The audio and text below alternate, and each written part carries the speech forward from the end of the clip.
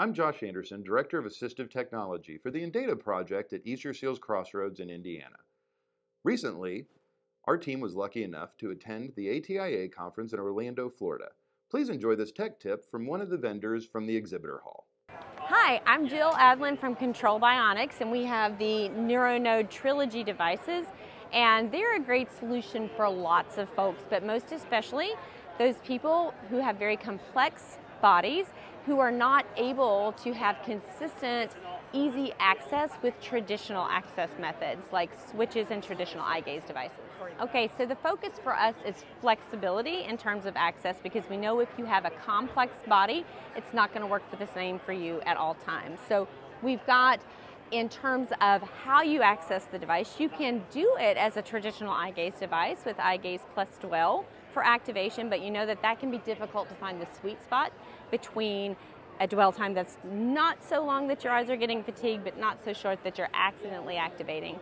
A switch solves that. It's miraculous. But for many people who need an eye gaze device, a traditional switch is just going to create a lot of trouble, especially in terms of being able to have access at all times. So that's where what's different about our device comes into play, and that's the NeuroNode, which is actually this little guy. So this is a wearable sensor, so we're not worried about mounting on a wheelchair and then moving from my wheelchair to my stander and losing my mount because it's mounted on me.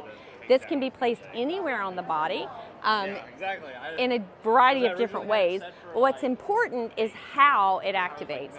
We have two modes. We have spatial mode where it's going to read with a sensor how it's moving in space, or for people who have very difficulty, very difficult times with movement, maybe if I have spinal muscular atrophy or ALS, it can be an EMG mode where it can read even an, an me trying to make a movement. So I can use an eyebrow. Many of those clients, we're not going to see any movement from them at all, but I'll show you how it works in spatial. So if I am wearing it in spatial, we have this that lets us see what this motion is like.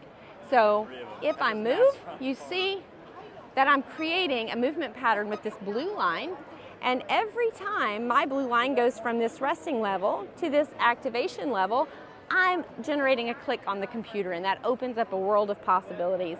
We are going to come to the patient, not have the patient come to us.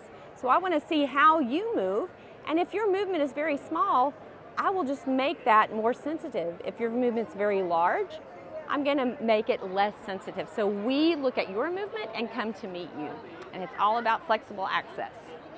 Well, that's your tech tip for today. I want to say thank you to the Indiana Telephone Relay Access Corporation for sponsoring our captions today. My name is Brian Norton with the Indata Project at Easter Seals Crossroads in Indiana.